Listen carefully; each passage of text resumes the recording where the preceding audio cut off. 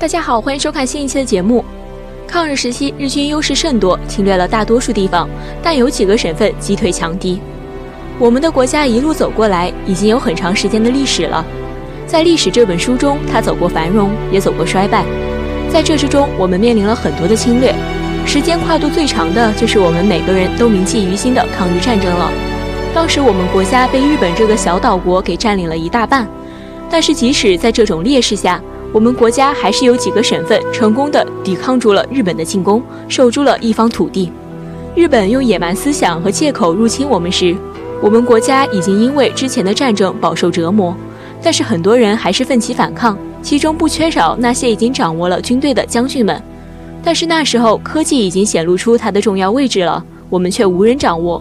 别人有的专业武器，我们通通都没有，只能靠着蛮劲和先人赋予我们的小智慧。结果可想而知。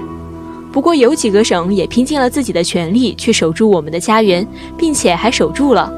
不得不说，也是我们的骄傲，也是要感谢他们保卫住了一方土地，激励了更多人勇敢地站起来。第一个地方就是西藏，相信这个地方大家都不陌生了。我们国内的游客去了都有严重的高原反应，别说是经常在海上的日本兵了，这独特的地理优势帮了他们很多。其次就是四川省了。